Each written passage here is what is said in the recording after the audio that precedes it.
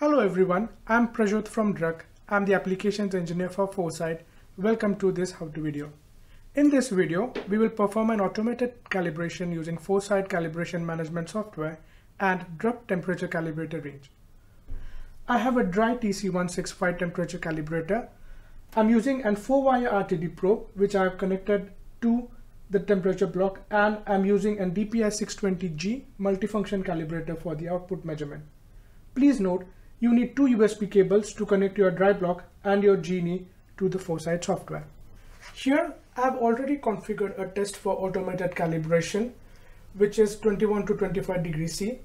If at this point you're not sure how to create a test and configure for automated calibration, please watch our other YouTube videos. The first step is to select the right equipment. For my input controller and input measurement, I'm going to use TC block for my output measurement, I'm going to use DPI620G. For this test, we are simply going to source temperature and measure the temperature output on a DPI620. We are going to perform an as found test. You can set your environment variable on this page and start the calibration. At this point, 4Sight will show you live readings from your dry block, which is your input reading, and it will also show you the live reading from your DPI620, which is your output reading. 4Sight will automatically take the readings for each point and complete the calibration.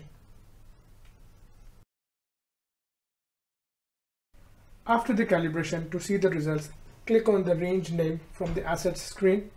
4Sight will show you the data from the latest calibration. You can go to the history by the drop down on the top. Scroll down for the calibration data, the trend graph, and the test equipment details. Go to Actions Generate Report for a PDF copy of the calibration results. In R1.5, you can now get your PDF look and feel customized. For more details, get in touch with us. Thank you for watching. For more updates, watch our other videos. Let's keep calibrating.